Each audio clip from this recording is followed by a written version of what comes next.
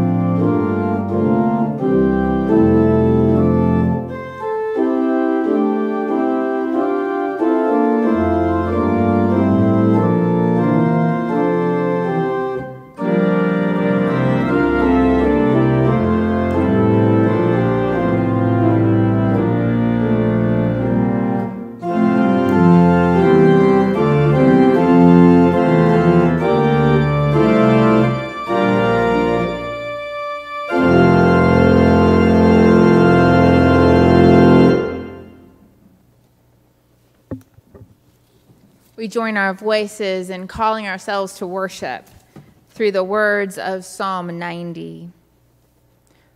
Lord, you have been our dwelling place throughout all generations. In you we come home to rest, to wrestle, to love, to be loved. We dwell in you. Before the mountains were born, before you delivered the whole world, from everlasting past to everlasting future, you are God. In you we are home. We dream, we flourish, we fade, we rejoice. We dwell in you. We join our voices in praying together the liturgy for reconciliation this morning, found on page 13 in the hymnal or through the slides that are on your screen.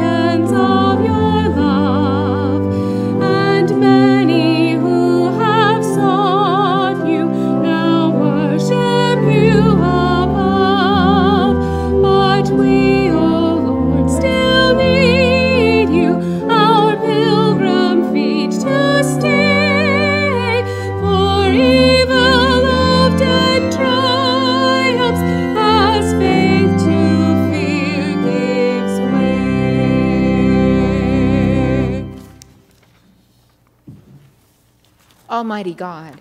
Enthroned above all, you alone are God over the nations of the earth. Even the planets, the stars, and the galaxies are placed by your hand. Where could we go from your spirit? Where could we flee from your presence? If we go up to the heavens, you are there. If we go down into the caves of the earth or the depths of the sea, you are there. God of all creation, we sing praises to your name. We stand jubilant before your glory, power, and beauty. God of certainty, God of truth, our confidence is in you and in you alone. Yet we live in a fallen world and we are an imperfect people. Our world is filled with pain and alienation. We know of illness when body or mind is failing and the loneliness of spirit it brings. We know, we know of separation from parent or child, from friend or neighbor, and the emptiness of life it brings. We know of strangeness in new communities and in changing communities, and the longing it brings. We know of alienation caused by unemployment or poverty or discrimination and the pain it brings. We have become strangers to our relatives and foreigners to our own families. How can we sing the Lord's song in a strange land? Let our cry for help come to you. I am a God nearby, says the Lord. Do I not fill heaven and earth? I am the Lord your God. I have called you out from the peoples, and you shall be holy to me. We, declare your praise, the one who called us out of darkness into your wonderful light. We are a chosen people, a royal priesthood, a holy nation, a people belonging to you.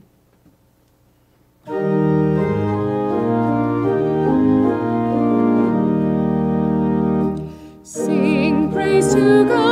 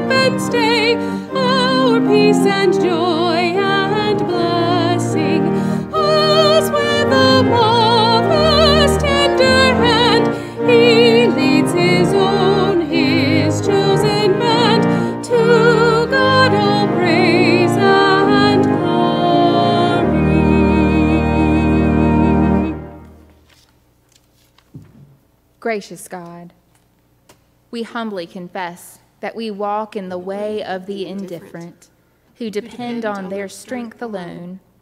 We sit among the scornful, who deny the need for your guidance and power.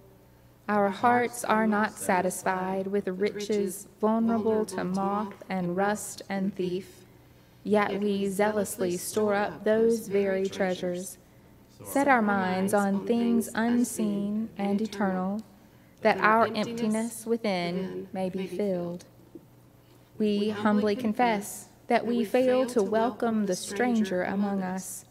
we pass by the neighbor who is hungry and thirsty, naked, sick, and in prison. We sing of your healing power and your unconditional love, but we fail to make our sanctuaries true havens for the suffering and the exiled. Give us the will to be ambassadors for our Savior and faithful stewards of the ministry of reconciliation entrusted to us.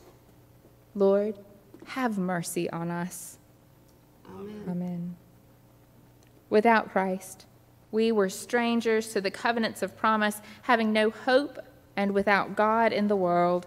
But now in Christ Jesus, we who were once far off have been brought near by the blood of Christ. He is our peace. We, we are, are no longer strangers and aliens, but citizens with the saints and members of the household of God, with Christ Himself as the cornerstone. Therefore, let us affirm our faith in the triune God. We believe in the one God who has created the land and sea and heavens and all that is in them, who established a world that was good, who gives to us the task of watchful and responsible care over it who is certainty and truth. We believe, we believe in the one God, who in, Jesus Christ assumed our humanity and knew our life as child, youth, and adult, who dined with sinners and lived with the homeless, who confronted popular opinion and power, who remained obedient in temptation and suffering whose triumph was a servant's death and resurrection. We believe in the one God who comes to us as comforter and advocate, who does not leave us as orphans, who brings peace and calms the troubled heart, He bestows gifts for serving, healing, showing compassion, and doing miracles. He alone is the power and the wisdom of our proclamation. Let us, in faith, keep our eyes fixed on the promises of God, though we see them and greet them from a distance. We confess, we confess that we are strangers and foreigners on the earth, a people, a people who are seeking our true home. We desire a better place. That is a heavenly one. Indeed, God has prepared a city for us.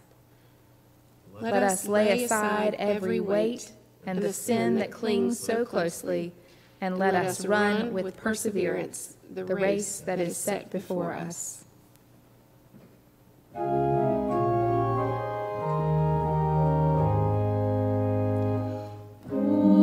Oh, what raptured greetings on Canaan's happy shore, what knitting severed friendships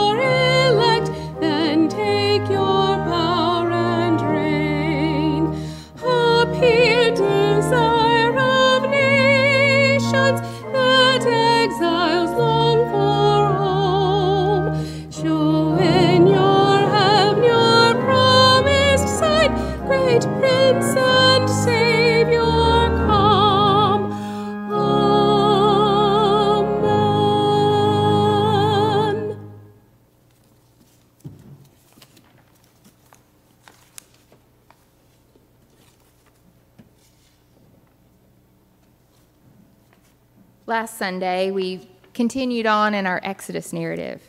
And this week, we shift back into our Matthew reading that we've been moving through. The two are linked because here in the passage that we hear from Matthew today, we hear about these commandments that Moses has been receiving and sharing with the people of God. Let's hear the text from Matthew 22, verses 34 through 46. When the Pharisees heard that he, Jesus, had silenced the Sadducees, they gathered together, and one of them, a lawyer, asked Jesus a question to test him Teacher, which commandment in the law is the greatest?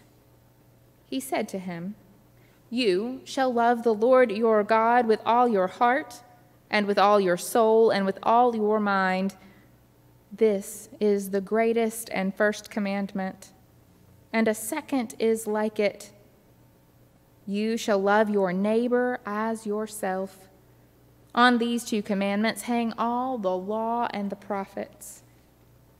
Now, while the Pharisees were gathered together, Jesus asked them this question What do you think of the Messiah? Whose son is he? They said to him, The son of David. He said to them, How is it then that David, by the Spirit, calls him Lord, saying, The Lord said to my Lord, Sit at my right hand until I put your enemies under your feet? If David thus calls him Lord, how can he be his son? No one was able to give Jesus an answer, nor from that day did anyone dare to ask him any more questions. This is the word of the Lord. Thanks.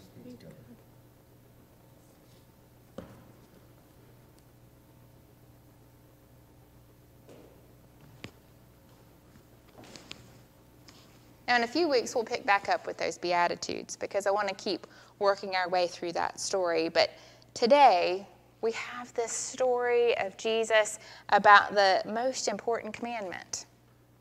Now, what we know is that there were so many important things that happened in that city of Jerusalem that sometimes we need a little piece of it with us to help us remember all the things that happened there.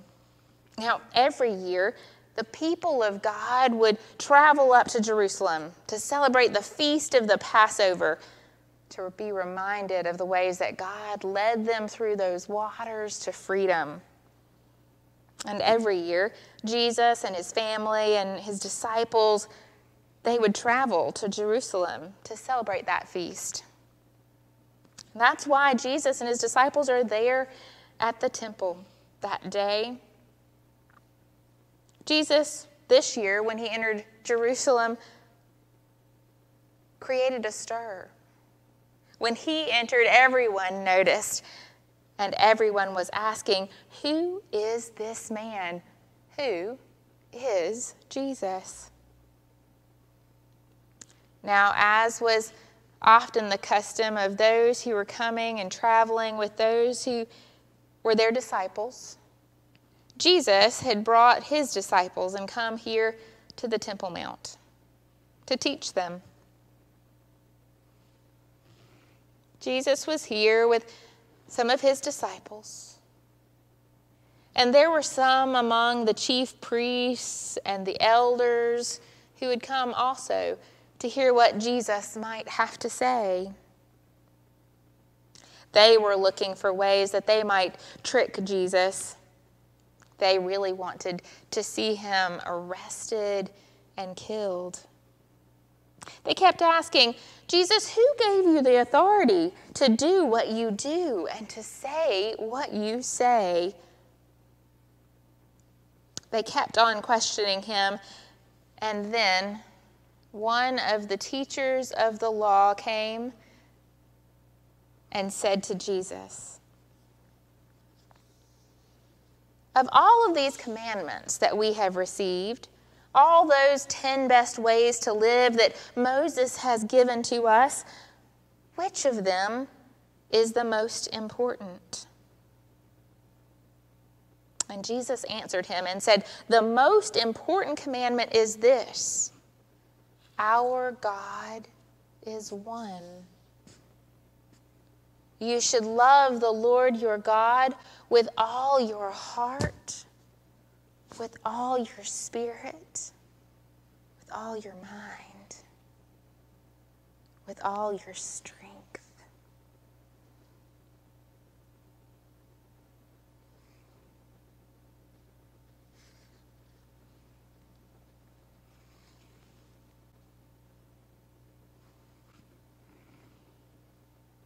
There is a second one, though. The second is this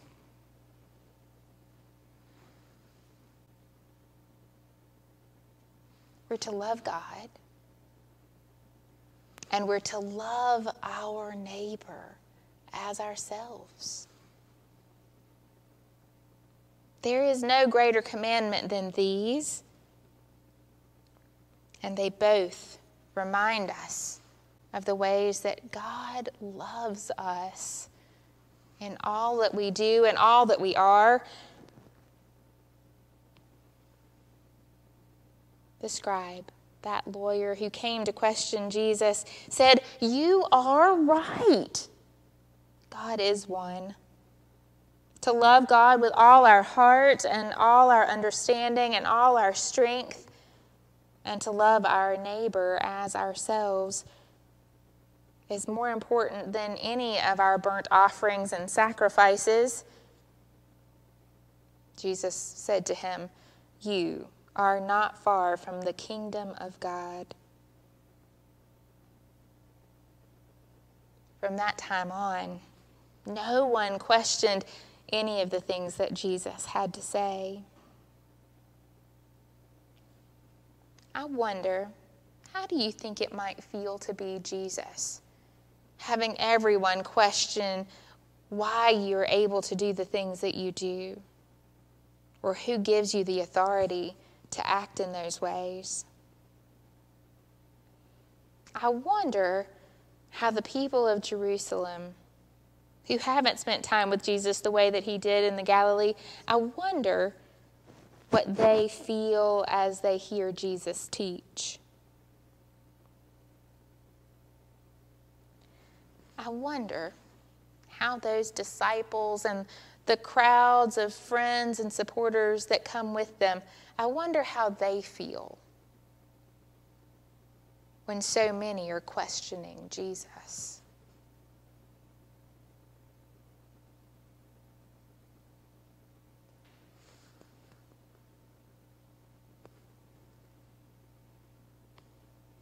This parable, this teaching of Jesus, well, it's all about how we center our lives. Do we center our lives in this love that God asks from us and the love that God asks for us to share with others and the ways that we get the strength to do all of this because God first loves us? Let us reflect on that as we share in this time of offertory reflection.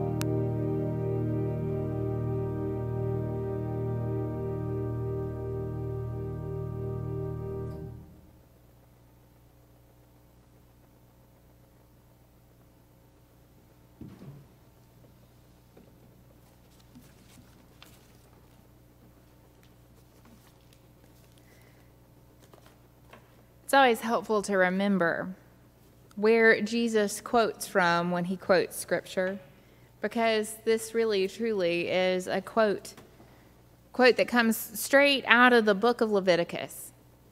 Now, you've got the Shema, the Lord, love the Lord your God with all your heart, soul, mind, and strength.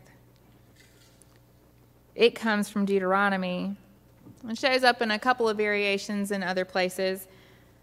But our text for that loving your neighbor isn't a new invention of Jesus. It comes straight out of Leviticus in chapter 19. So I invite us to hear these words from the law that Moses received.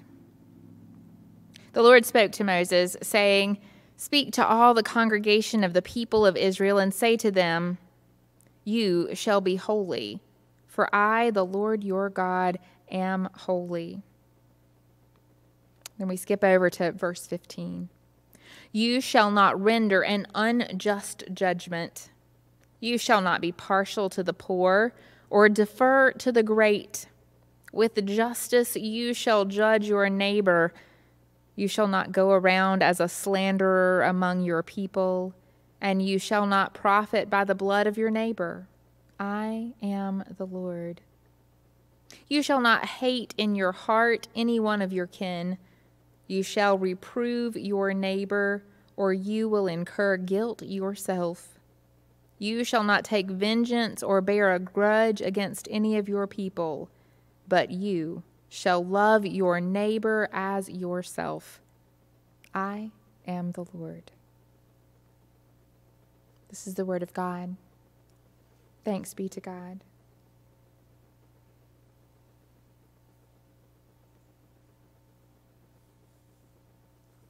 Let us pray together as we enter into this time of sermon reflection. This day, may I sleep beneath your feet, O Lord of the mountains and the valleys. You who are ruler of the trees and the vines, let me rest in your love with you protecting each of us as a father protects his children, with you watching over all of us as a mother watches over her children. Then, tomorrow the sun will rise, and I will not know where I am, but I will know. We will know that you will guide our footsteps.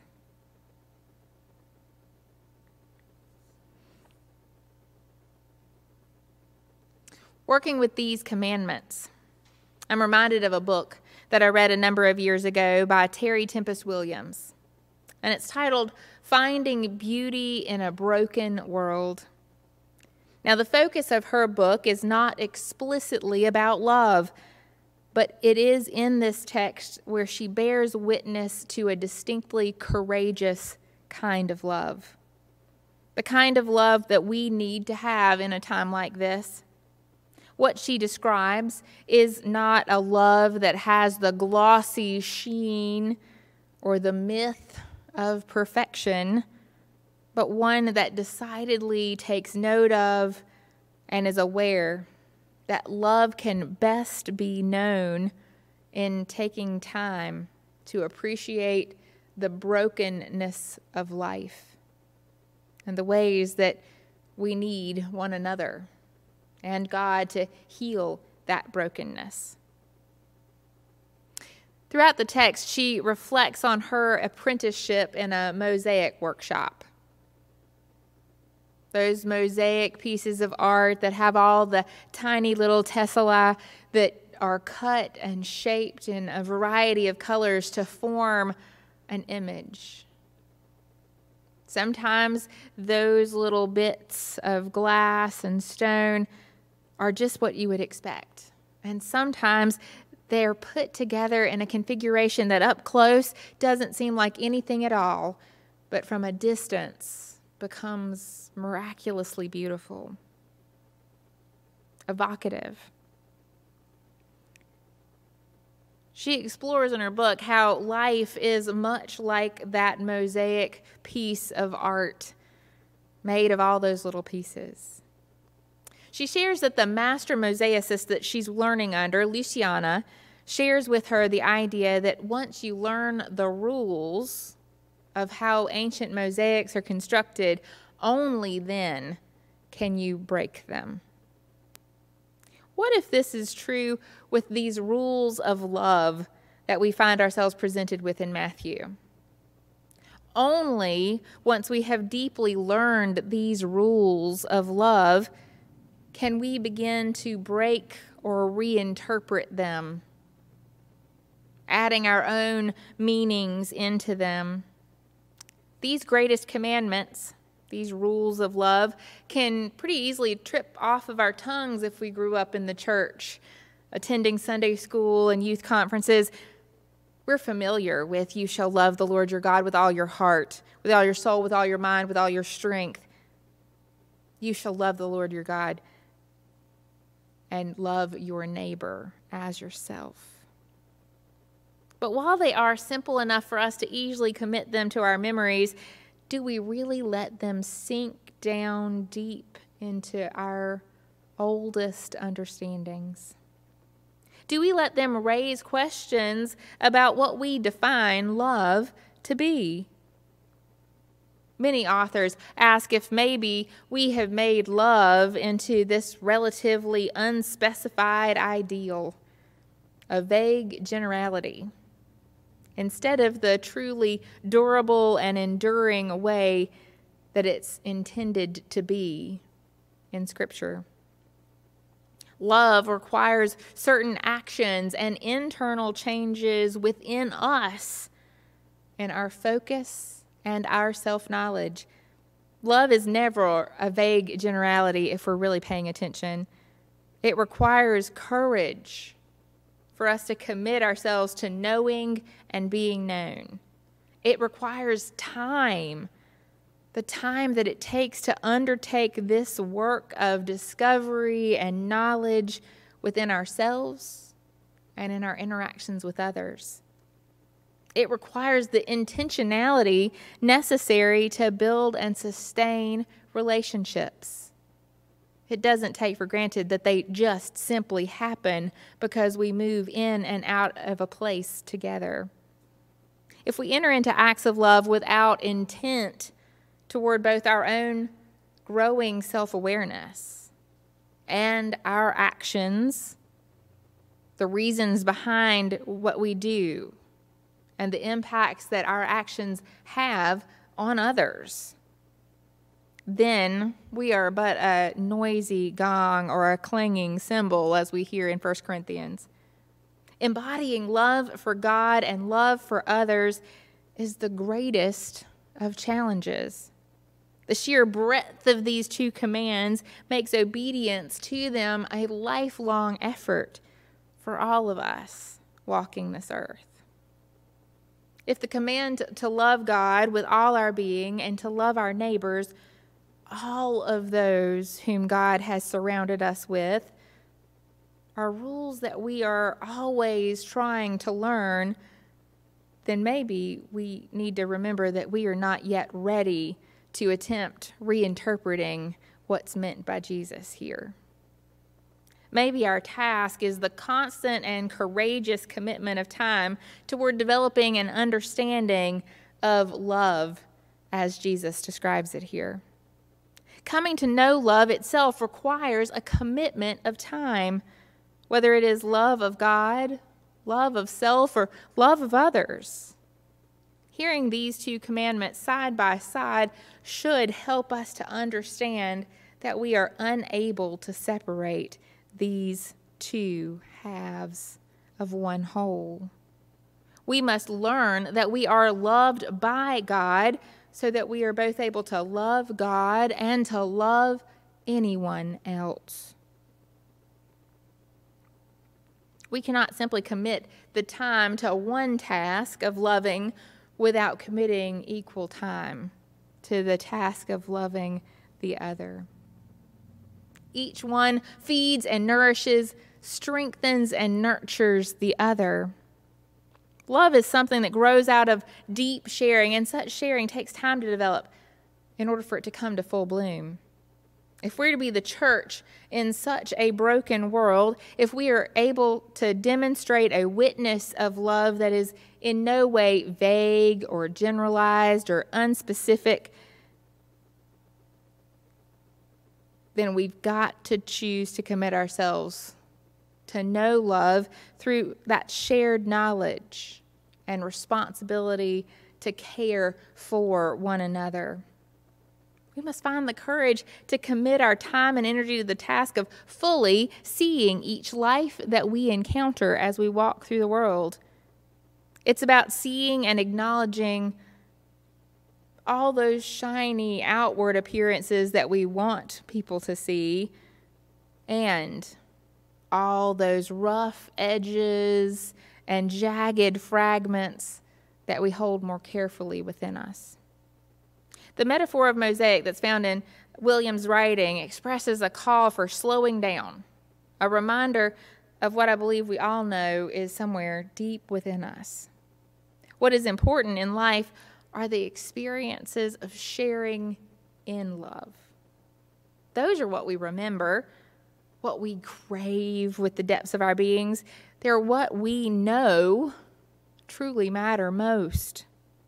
And yet, we so easily find ways to deny ourselves of them.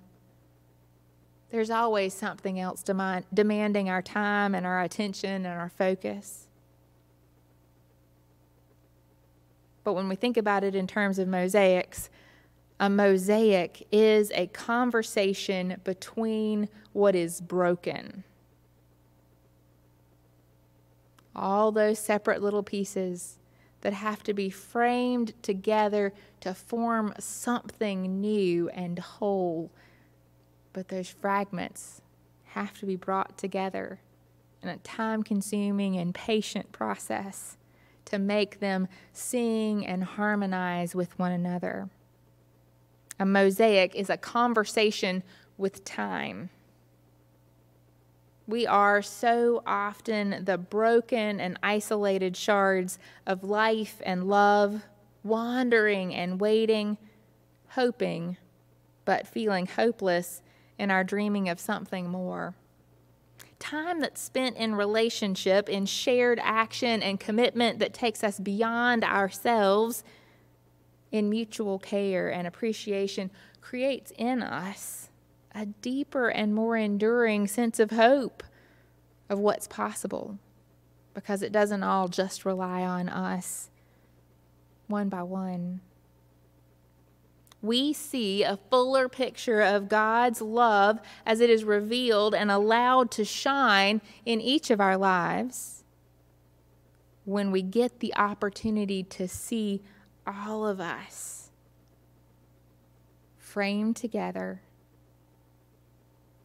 having been courageous with our time to find how the pieces just might fit together.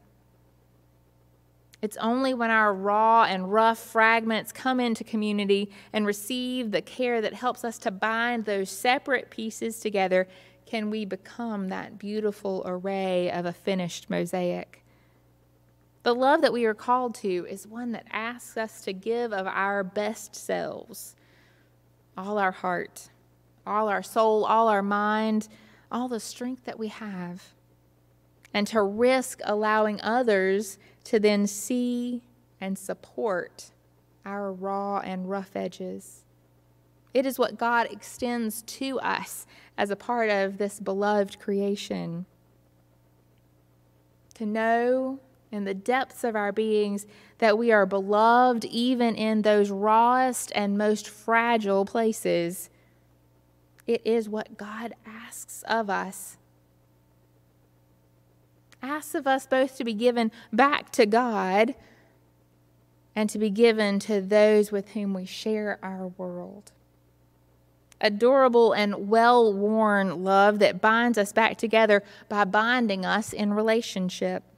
This sort of love is well worth such intentionality with our time. If it is given with deep and abiding courage, it is what can reshape our broken world and our broken selves. if we are to see the beauty that exists all around us, we have to first be willing to enter into this courageous act of time sharing, time given, vulnerability. There is motion and texture to this life that can only be found when we allow time to be somewhat unbounded every so often. Time for love that is allowed to open up, spread itself out, expanding before our eyes. Time that can be cared for just tenderly enough for us to forget its passage. Williams suggests that she is learning through this Mosaic apprenticeship, learning to trust the motion that comes through color and the spaces in between the pieces. Not in the controlled and static placement of each cube in that mosaic, but in the joy of the odd arrangements and particular unpredictable moves of choice, placing the unexpected side by side. She says it teaches her to believe in the beauty of all things common, to believe in the beauty of all things broken letting go of our controlled uses of time, the boundaries that we want to draw up around what it is to be in a community in Christ, and coming to a realization of the beauty that can only be known when we are willing to let love move in and through our lives in new ways.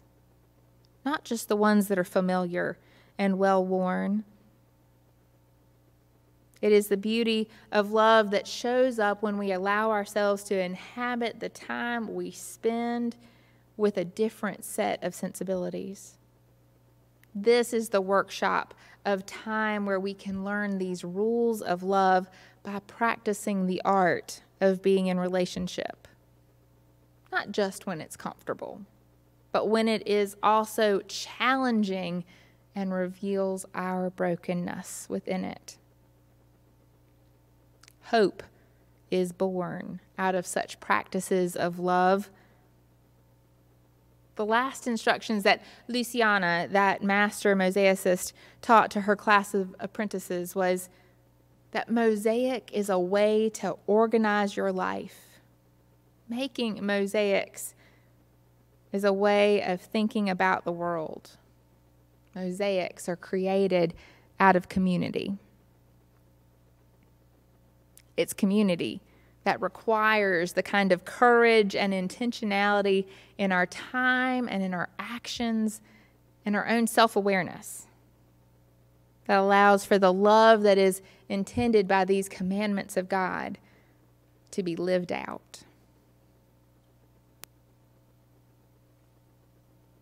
I invite us this morning as we head into our closing prayers to sing together, called by Christ to love each other.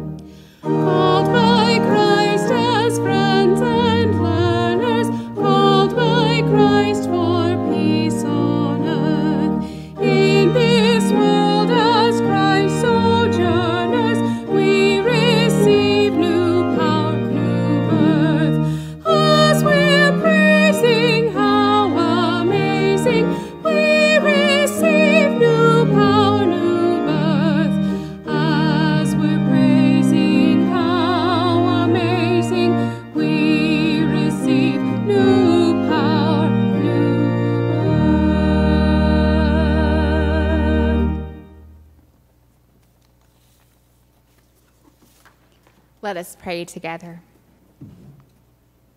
O Eternal One, it would be so much easier for us to pray to you if we were clear of a single mind and a pure heart. If we could come before you and be done hiding from ourselves and from you, even in our prayers. But we come. We are who we are, filled with a mixture of different motives and excuses. We come as blurs of memories, quiver full of hope,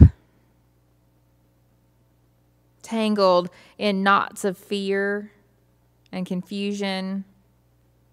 We come restless with love for love, seeking ways to know your love that we might share it. And we wander here somewhere between gratitude and grievances, between wonder and a desire for routine.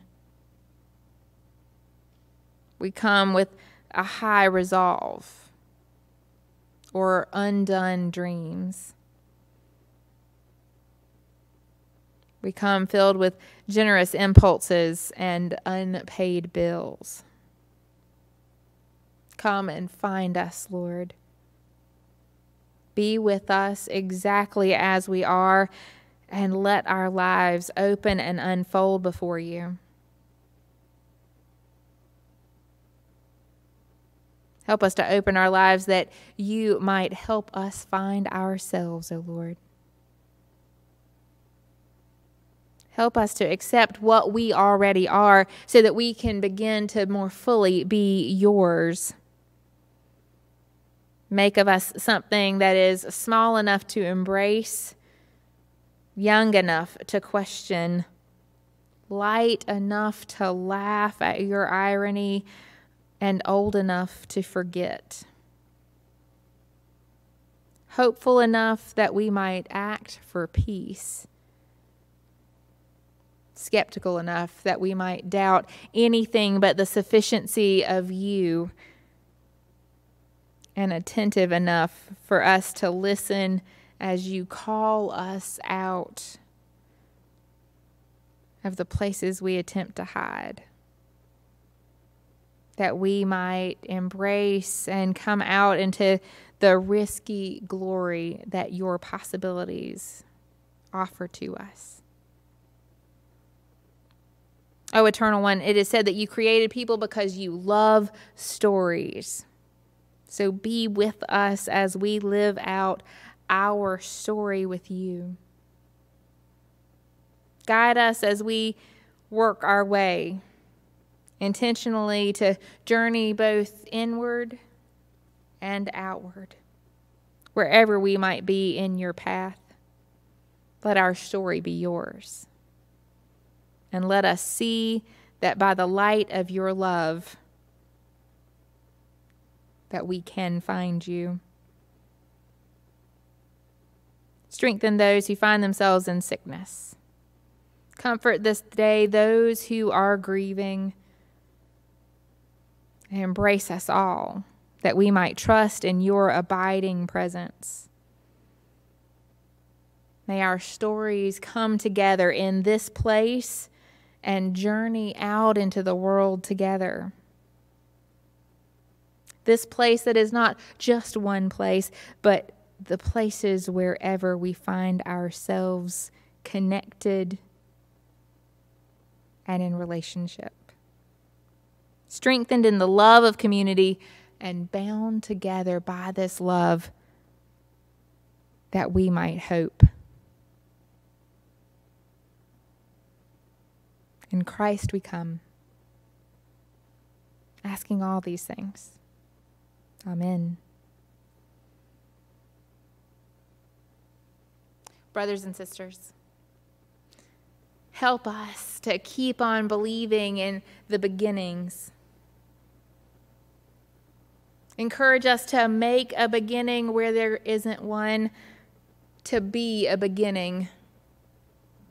For it is in the love that comes from within you, O God, that all things have their beginnings.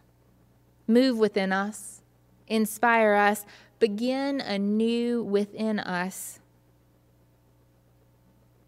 And in the name of God, the Father, the Son, and the Holy Spirit, may you bless us and keep us in all these days. May your face rise and shine upon us, and may the grace that we receive fill us in your love. May your countenance be lifted upon us and give us the deepest of peace. Amen.